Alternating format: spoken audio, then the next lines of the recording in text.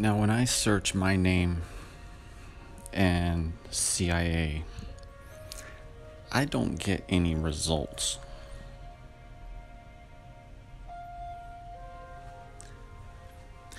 But you do with this guy.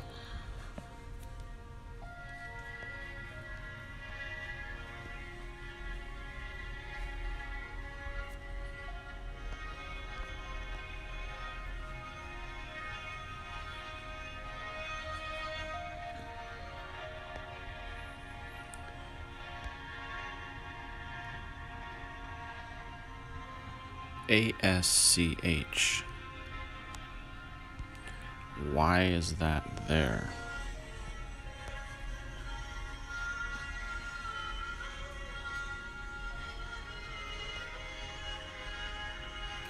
His friends called him Schlame. Sounds like lame. What does Schlame mean? I guess it means slime.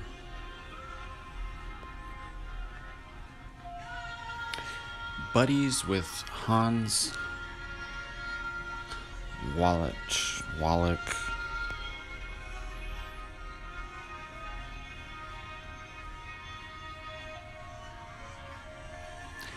Now, I don't hate people based on their ethnicity.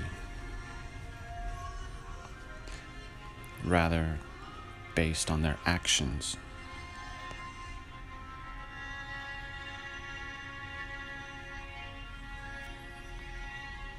Buddies with Max here.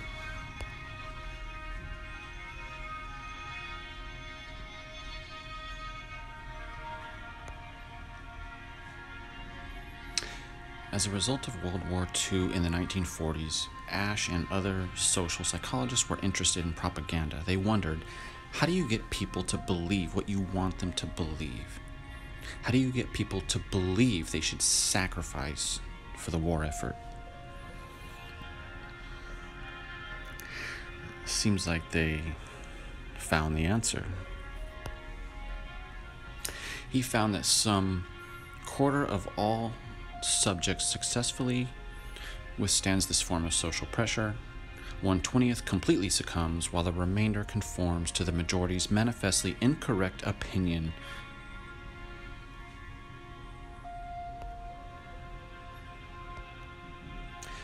Kabbalistic rites early in the 13th century were openly practiced in France by the Jews.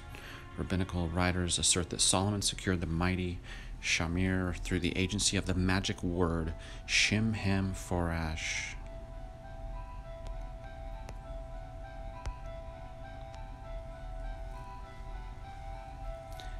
Shimham Farash was endowed with talismanic power and used by Solomon.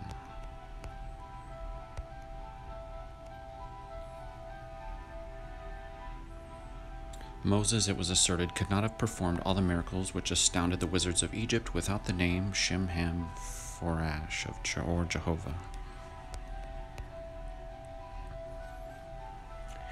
And this is quite the image. After all the stickman petroglyphs we've seen.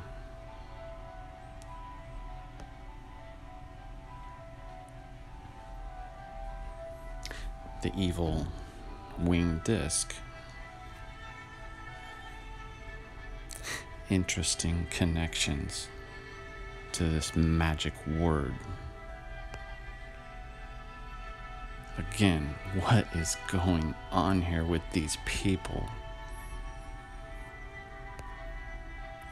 I thought this was supposed to be the secret special name of the Jewish God.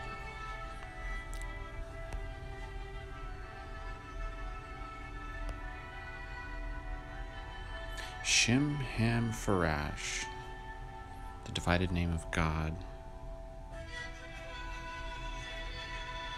This cube, this hexagon, Metatron, the winged disc,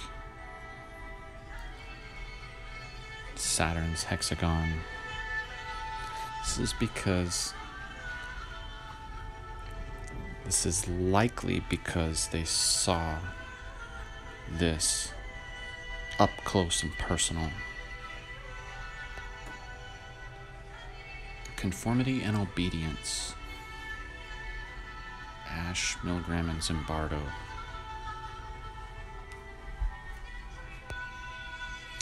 Okay, enough of that.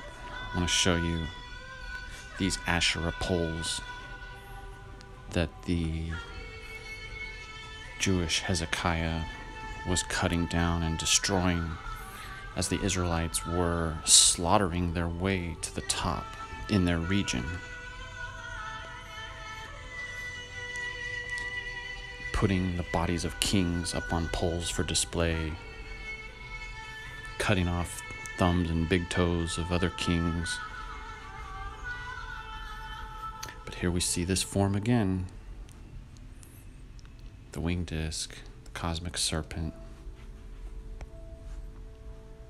This form, this collapsing configuration of the planets, was the inspiration for the Asherah poles.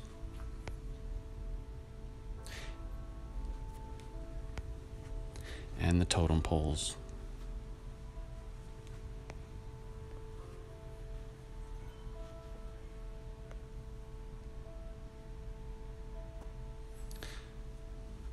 The famous Aztec story the eagle, the serpent, the cactus, same form. Here you also see the twin pillars.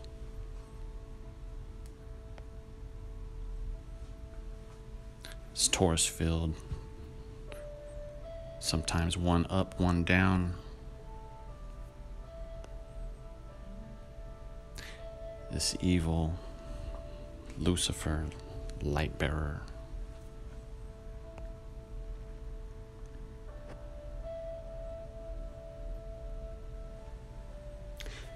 And in Revelation 12,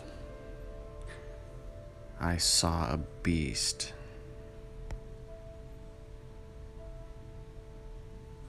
with Seven heads and ten horns.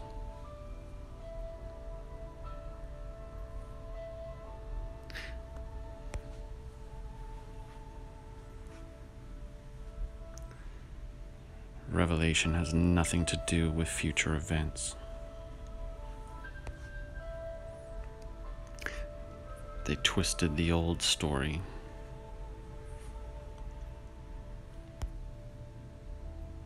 To give you their fear.